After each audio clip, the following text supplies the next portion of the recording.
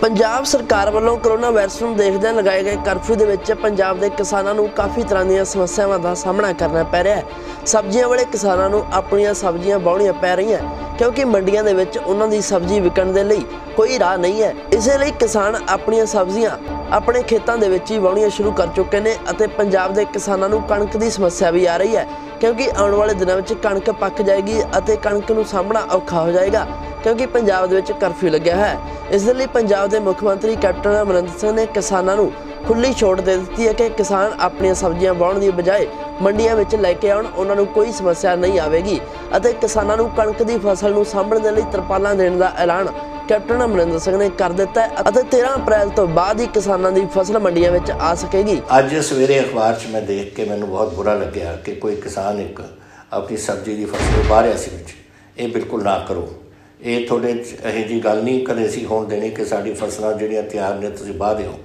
ਤੁਸੀਂ ਆਪਣੀਆਂ ਫਸਲਾਂ ਵੱਢੋ। ਤੁਹਾਨੂੰ ਕੋਈ ਨਹੀਂ ਰੋਕੇਗਾ। ਪੁਲਿਸ ਨੂੰ ਹਦਾਇਤ ਹੋ ਗਈ ਹੈ ਕਿ ਜੋ ਸਬਜ਼ੀ ਲੈ ਕੇ ਆਵੇ ਉਹ ਆਪਣੇ ਮੰਡੀਆਂ ਦੇ ਵਿੱਚ ਆਪਣੇ ਜਾ ਕੇ ਆਪਣੇ ਲੋਕਾਂ ਦੇ ਕੋਲ ਇਹ ਪਹੁੰਚਾ ਸਕੇ, ਜਿੱਥੇ ਵੀ ਸਾਡੇ ਮੰਡੀ ਦੇ ਵਿੱਚ ਤੁਸੀਂ ਵੇਚਦੇ ਹੋ, ਮੰਡੀ ਵਿੱਚ ਹੋਵੇ ਜਾਂ ਦੁਕਾਨਾਂ ਨੂੰ ਹੋਵੇ ਇਹ ਤੁਹਾਡੇ ਕੋਲ ਸਾਰਾ ਪ੍ਰਬੰਧ ਅਸੀਂ ਕਰ ਰਹੇ ਹਾਂ। ਇੱਕ ਤਾਂ ਇਹ। ਦੂਸਰਾ ਹੁਣ ਆਲੂ ਦੀ ਫਸਲ ਨਿਕਲ ਰਹੀ ਹੈ। ਉਹ ਆਲੂ ਦੀ ਫਸਲ ਵਾਸਤੇ ਵੀ ਅਸੀਂ ਪੂਰੀ ਇਜਾਜ਼ਤ ਦਿੱਤੀ ਹੈ ਕਿ ਜਿਹਨੇ ਕੱਢਣੀਆਂ ਕੱਢੋ ਔਰ ਕੋਲਡ ਸਟੋਰੇਜਾਂ ਤੱਕ ਤੁਸੀਂ ਪਹੁੰਚਾ ਸਕਦੇ ਹੋ ਜਾਂ ਜਿੱਥੇ ਤੁਸੀਂ ਭੇਜਣਾ ਚਾਹੋ। ਔਰ ਤੀਸਰੀ ਹੈ ਸਾਡੀ ਕਣਕ ਦੀ ਫਸਲ। ਇਹ ਜੈਸੇ ਤੁਹਾਨੂੰ ਪਤਾ ਹੈ, ਪ੍ਰਧਾਨ ਮੰਤਰੀ ਜੀ ਨੇ 21 ਦਿਨ ਦੀ ਲਾਕਡਾਊਨ ਦੱਸੀ ਹੈ। ਉਹ ਵਿਸਾਖੀ ਨੂੰ ਮੁੱਕ ਜੂਗੀ 13 13 ਅਪ੍ਰੈਲ ਨੂੰ। ਔਰ ਉਸ ਤੋਂ ਬਾਅਦ ਤੁਸੀਂ ਆਪਣੀ ਪਾਰਟੀ ਸ਼ੁਰੂ ਕਰੋ। ਔਰ ਅਸੀਂ ਤੁਹਾਡੀ ਉਹ ਜੈਸੇ ਪਹਿਲਾਂ ਦਾ ਪ੍ਰਬੰਧ ਸੀ, ਉਹੀ ਪ੍ਰਬੰਧ ਹੋਏਗਾ ਚੱਕਣ ਦਾ। ਲੇਕਿਨ ਸ਼ੁਰੂ 'ਚ ਕਿਉਂਕਿ ਰਸ਼ ਹੋਏਗਾ, ਤੁਸੀਂ ਆਪਣੇ ਆਪਣੇ ਕੋਲ ਹੀ ਥੋੜੇ ਦਿਨ ਮਾਂ ਵਾਸਤੇ ਸਟੋਰ ਕਰਕੇ ਰੱਖੋ, ਤਰਪਾਲਾਂ ਲਓ। ਉਹਨੂੰ ਅਸੀਂ ਤਰਪਾਲ ਤੁਹਾਡੀ ਮਦਦ ਕਰਾਂਗੇ ਲੈਣ ਦੀ। ਔਰ ਤੁਸੀਂ ਉਹਨੂੰ ਕਬ ਆਪਣੇ ਢੱਕ ਕੇ ਚੰਗੀ ਤਰ੍ਹਾਂ ਬਚਾ ਕੇ ਰੱਖੋ, ਮੰਡੀ ਭੇਜਣ ਤੋਂ ਪਹਿਲਾਂ।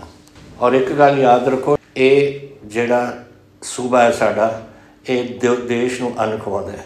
ਔਰ ਤੁਸੀਂ ਉਹ ਆਪਣੀ ਮਿਹਨਤ ਨਾਲ ਜੋ ਪੈਦਾ ਕਰਦੇ ਹੋ ਉਸ ਅੰਨ ਨੂੰ, ਤੁਹਾਡਾ ਦਾਣਾ ਦਾਣਾ ਅਸੀਂ ਉਠਾਵਾਂਗੇ।